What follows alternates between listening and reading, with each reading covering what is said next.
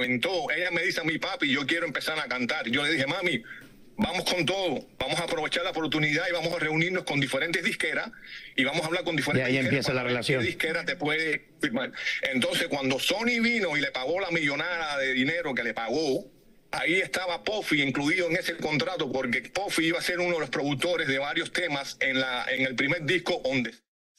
Y ahí fue donde empezaron La relación de trabajo. las- los engaños, ahí donde empezaron las mentiras, ahí donde empezaron Wow. la, lo- la separación. Yo estaba en Los Ángeles abriendo Hi guys, welcome back to my channel. Please help support this channel by liking this video and subscribing. I do appreciate the support. Now let's talk about Jennifer, I mean J-Ho. J-Ho. Well, Jennifer Lopez's ex-husband, Ohani Noha, is speaking out. Okay? He is saying the things that I've said that many of us who are in the know have said. Okay? Jennifer Lopez, ex husband, Ojani, blames Sean Diddy Combs for running, for running, ay, ay, ay, for ruining their happy marriage. During an appearance on Spanish language talk show Despierta America, Noa shared what led to the end of his short lived marriage with Jennifer Lopez from 1997 to 1998. When asked what led to their breakup, Noa declared part of that divorce was Diddy's fault.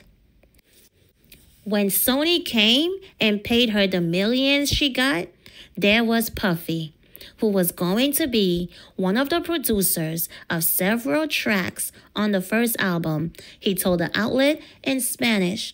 That's where the deception, the lies, and the separation started. Noa said Jennifer had already begun seeing Diddy behind his back. He found out about their relationship while she was on the East Coast recording her album. I was in Los Angeles opening my restaurant, and she was between Miami and New York working on the album. When I could, I would go to be with her. There, and that distance and that separation was where the deception started. Noa alleged that Jennifer blackballed him and sabotaged his chance at several jobs. I would ask Jennifer, What did I do to you so that you have taken me to court? You have accused me, you have lied, you have created false things about me, and you have caused several companies to throw me out and different television networks not to give me work. Why? If I have not done anything to you, let her tell the truth. Let her tell everything that happened. Wow. Jennifer Lopez dated Diddy from 1999 to 2001. And you do know Diddy is currently in a Brooklyn jail where he is awaiting trial on SEX trafficking charges. See, I've said this. Jennifer Lopez is an opportunist. She's a cheater. She's she slept her way to the top. She um every industry she wants to kind of like get into, she'll date someone in there. Her first album, because she can't sing, Diddy, okay, she worked with Diddy, she slept with Diddy. She didn't like Diddy. Diddy was with Kim. Okay, Diddy was with Kim. And Jennifer, that, that didn't stop Jennifer. That didn't stop their affair. And Kim did not like Jennifer Lopez. Kim did not want her kids near Jennifer. Okay? Kim Porter did not like Jennifer Lopez. Actually, nobody likes Jennifer Lopez. Anyway, after she got into the hip hop, the black community through music because Diddy helped her majorly because that lady cannot sing. Okay? So once she got that, she wanted in in the Latin community. Okay? Guess what she did? She learned Spanish because she said her Spanish sucked. She couldn't speak Spanish very well. She learned it. And guess who she got with? Marc Anthony. She started having an affair with Marc Anthony. Marc Anthony was married at the time, was married. Then out of nowhere, the divorce started, they broke up. Him and his wife broke up. And then that's when the news came out about Jennifer Lopez and Marc Anthony are now dating. They came out publicly. Okay? And guess what? After that, she wanted to be back in movies, right? In movies. But she wanted the white community, right? She wanted the white community. So guess what? She freaking got with Ben Affleck after they starred in the movie Gigli. Oh, terrible movie, by the way. And of course, she wanted to be in the white community, the A list. Guess what? She started de- dealing with Ben Affleck and obsessed over him because this is who she wanted. This is what she wanted to be at the top. A list, dating A listers. So she, you know, and then the the they were they were uh, engaged. Ben Affleck cheated on her, right? And then called out the call off the wedding. Okay, three days, three days before the wedding. He called it off. Wedding got canceled. His mom did not like her, and she's been obsessed with him, the one who got away. And then, when they both got old, in their 50s, you know, washed up, that's when she said, okay, you know what? He's gonna date me now because he's he's a drunk and yeah, his life is just whatever. So they got back together. And he said he regretted that mess. He regretted getting back with Jennifer Lopez. That's what he said. Oh my God. He really said that. He said he regretted he regretted marrying Jennifer Lopez. You see, that's why they shouldn't have gotten back. But she reached out to him when he was at a vulnerable place after Alex dumped her, was cheating on her.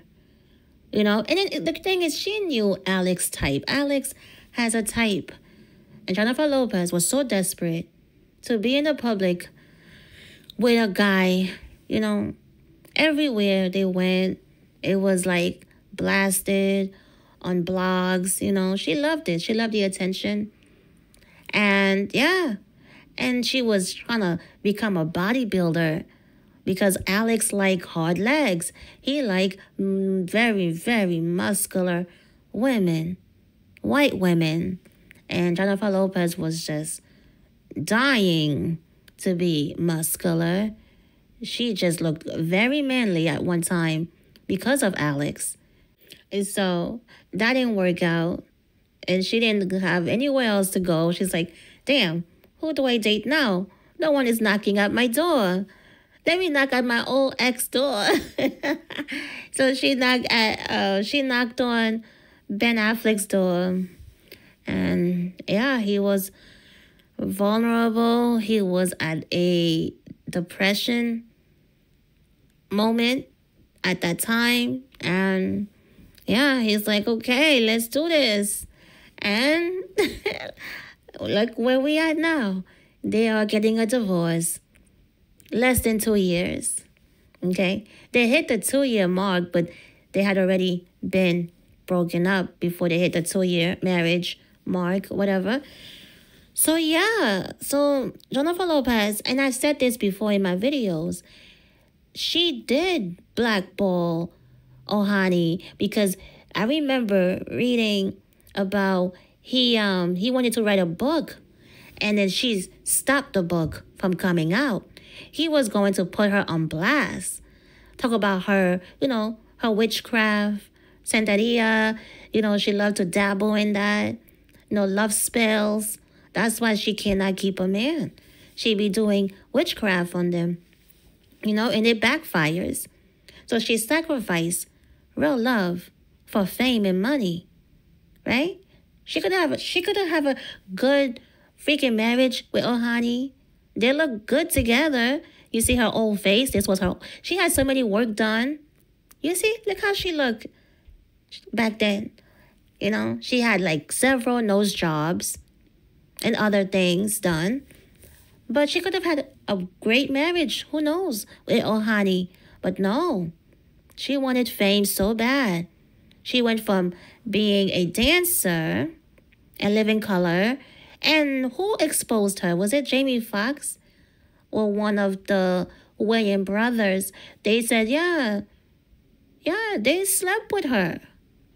She was, yeah, she she was passed around in living color days, right? And I think it was uh, Jamie Foxx who who called her, who gave her the nickname J Ho. Okay, so we've been saying this. This is not new. Okay, and she blackballed the ex husband from writing his book and from getting jobs. That's crazy. Because you wanted fame. Because you cheated with Diddy. Okay? While he was with Kim. And, man, Jennifer Lopez. And then now, it, it came out, people were saying she the one that carried the G-U-N at the club that night. Where this lady was shot. And this other guy, I think he, he passed away. I know he was shot as well, but um, yeah, so so people are speaking out. So Jennifer Lopez, yeah, your time is up. Your time is up. Okay. Because you've done so much. You are a narcissist. You don't care about people. You selfish. And look, look, trying to stop the man, your first husband, trying to stop his bag, his bag, trying to stop him from getting work because you, you cheated. That's crazy. You cheated on the guy, and then yet you wanted to silence him. You did all this to him, all this stuff you did to him. Well, now he's coming out, so that's good. People are speaking out.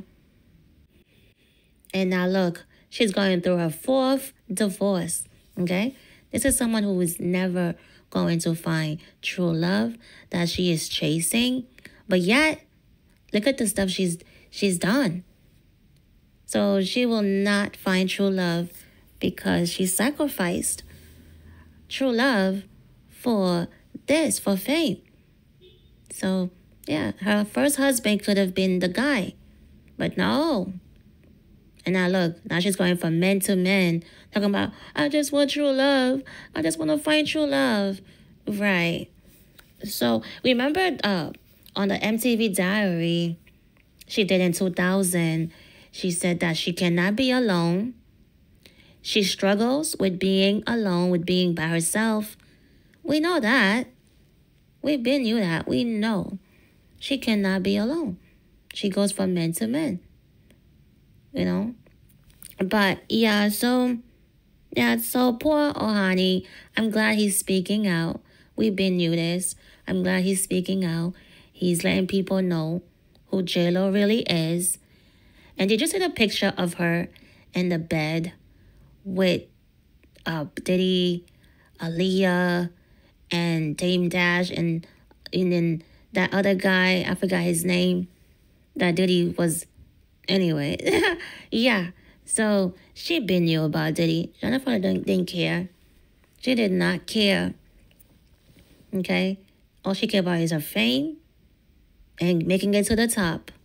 And now she at the top, guess what? It's very lonely at the top because of all the toes, all the shoes she stepped on on her way up. She stepped on a lot of toes on her way up. And now she's up there. She's lonely. She can't find anyone to love her. She can't find true love. She can't find anyone to love her. So, all of that money, all that fame, and yet you are unhappy. You don't have any real love. You are miserable. Okay? And annoying. So, yeah, That's the price you pay for fame and selling your soul and dabbling and love spells. So, yeah, you guys, what are your thoughts? Leave it in the comments. Don't forget to like, don't forget to subscribe. Thank you for the support, and I will see you on the next one. Peace.